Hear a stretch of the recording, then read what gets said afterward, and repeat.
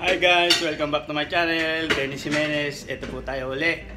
Ah, nandito po tayo sa likod ng ating ah, ginagawang bahay.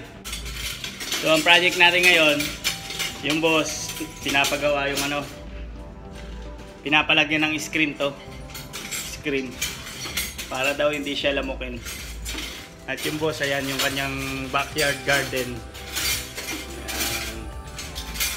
So, ito po ang kanyang dirty kitchen ng kanyang bahay. Ayan po yung boss.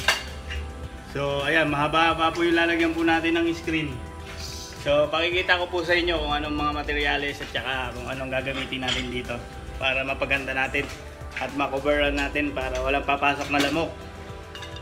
Para ano, at yung yung pinaka parang door niya doon sa harap lalagyan din ng screen para dito ginagalawan. Walang mga pasaway na lamok na aali-aligid sa binti mo pagka naglalakad ka. So tara gawin natin. Samahan nyo ako. Hi guys, nandito na tayo, nakabili na tayo ng materyales. So bago po natin impisahan mention ko po muna sa inyo yung mga materialis natin na kakailangan ah, screen doon sa rehas. So bumili po tayo ng ano, ito. So screen, screen po ah. Tapos rubber lock. Ayan. Screen frame lock. Ah, itong ano. Ito po yung screen frame. Screen frame. screen frame. Tapos, ito naman po yung tools na gagamitin natin. Ito naman po yung tools. Martilyo, baka may pupukukin. Tsaka itong ah, roller. Roller natin. Cutter. Tsaka lagaring bakal. Siyempre, eskwala tsaka pangguhit. Tsaka metro natin, metro. O tara, umpisa na natin.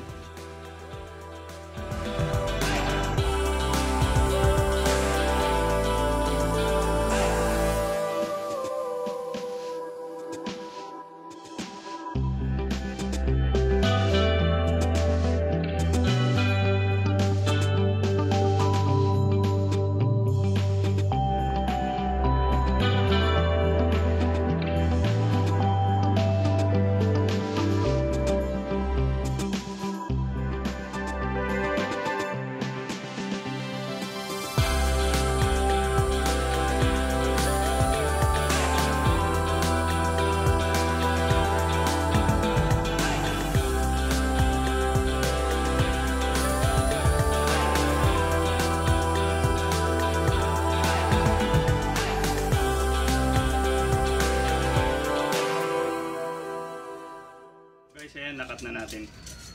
Sobrang nipis. Ang lambot oh. Malambot. So, pag na, nakat na po natin, hanap po kayo ng area na paglalapagan dapat ah, dapat flat na flat ha, walang ano, para maganda lapat ng screen. Malambot pa naman. Sigurado to babatak nung pag ano palo. Pero okay lang. Kasi bakal naman yung paglalapatan natin dun sa ano paglalapatan nito babatakin na lang natin doon sa, sa ano. Babatakin na lang natin doon tara mag frame na tayo.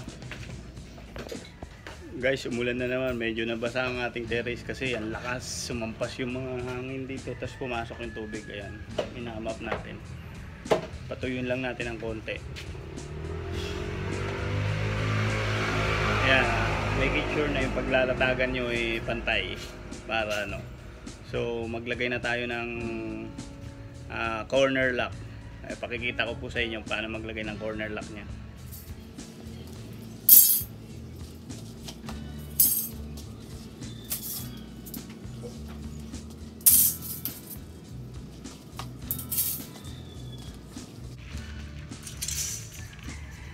Sa, sa screen sa screen frame guys, may dalawang kanal ayan. So ito yung lagayan ng rubber lock. Pwede ka maglagay ng screen dito. Pwede ka rin maglagay ng screen dito sa side na to. So isang side lang gagamitin natin. Itong loob na to. Tara, ilagay na natin yung corner lock. Ayan ah, kita nyo yan. Ito nga pala yung ating corner lock guys ah. Angle lang siya. Ayan. Ah, mura lang to guys. 12 pieces sa uh, 20 pesos.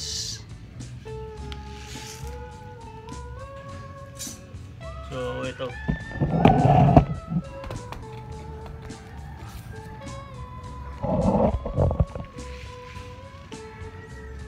Guys, ipapasok nyo siya dito. So, ipapasok nyo siya dyan guys. Sa gitna. Ganun din sa kabila. Pero, ilak na natin. Ilak na natin bago natin ipasok sa kabila.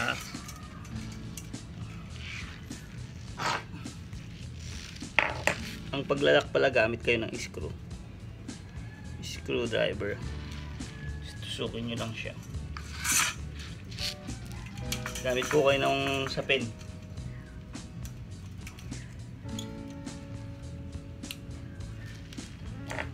Na ganyan nyo lang yan.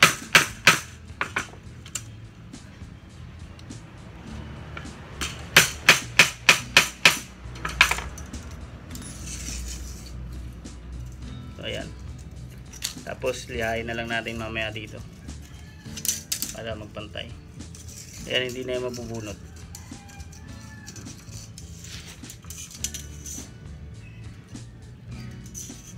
Saan nyo pasok yung kabila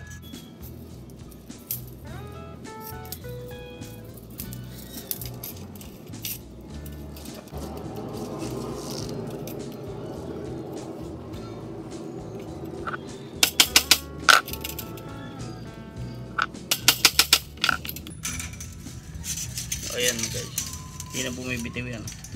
Ibay na yan. Tapos pag nailagay na yung screen dyan lalo pang titiba yan. Uh, repeat the same process lang lahat ng corner ha? Ayan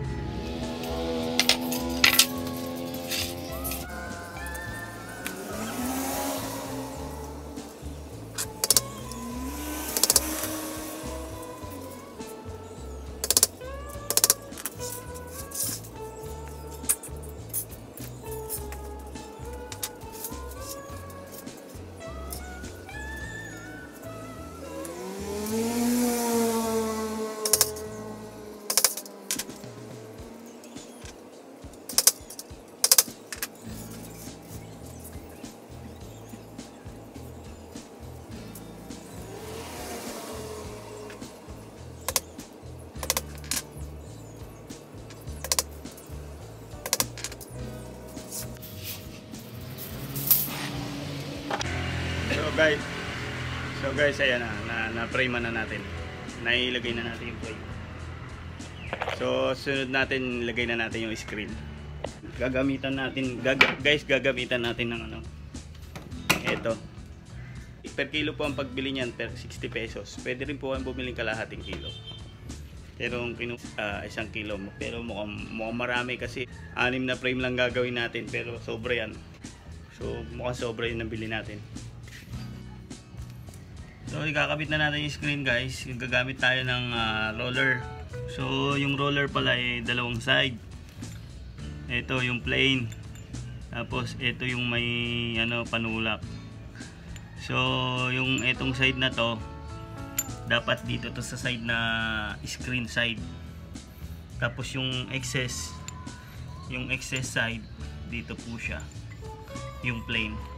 Kasi nag-auto cut siya paggulong nyo po makakat na po yung ano yung itong excess na, na screen nya so tara.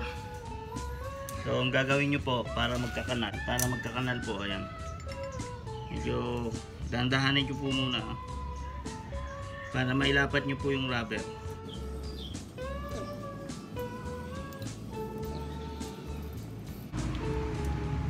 Baon nyo po muna ng flat screw.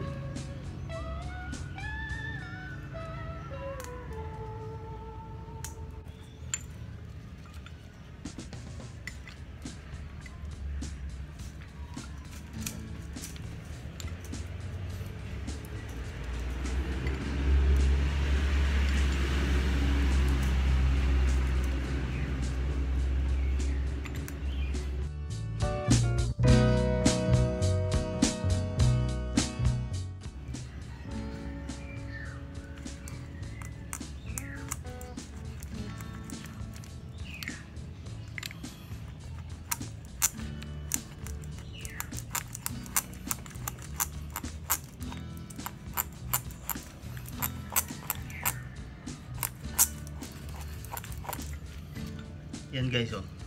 No, auto cut na yan oh. Tapos ito nakakapit na.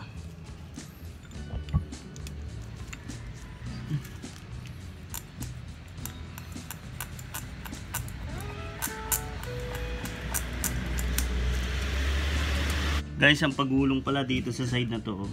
Yan. Yung rubber pasok dito. Tapos yung pagulong niya dun sa labas. Pagulong ka dun. Ayan para dun mag-cut.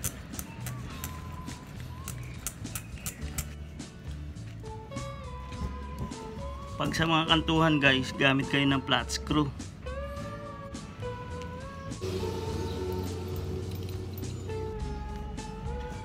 Kanalan nyo muna guys, kanalan nyo. Kanalan nyo muna.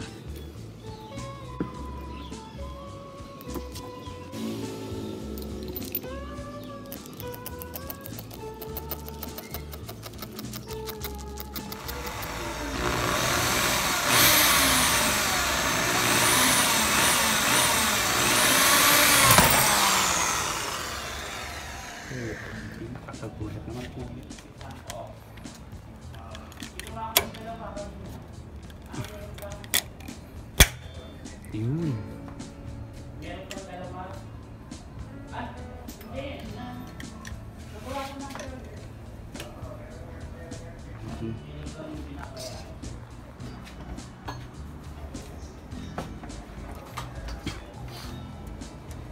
Guys, pagka pagka ipipix nyo na yung taas, batakin nyo na para batak lang batak tong screen.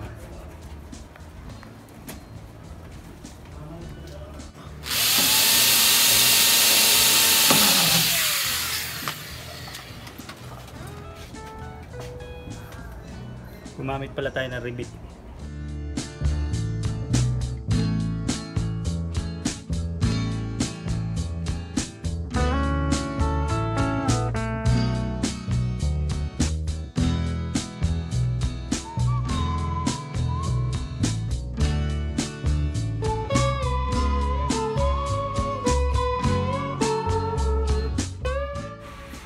So ayan po, tapos na po tayo sa ating ah, screen project. Nakagastos lang po tayo ng 1,300 yan. At ah, nalagyan po natin lahat. At nagpa-exist tayo ng konti doon sa ibabaw ng ano, yung malapit sa yero para masiksikan yung mga siwang ng yero. At ayan, maganda po ang kinalabasan. So sana po nag nagustuhan nyo po ang ating vlogs and video ngayong araw na to. Dennis Jimenez po. Huwag niyo po kakalimutan, pa-like naman po or pa-subscribe na rin po. Kung bago lang po kayo sa aking channel. Maraming salamat po. God bless. Bye-bye.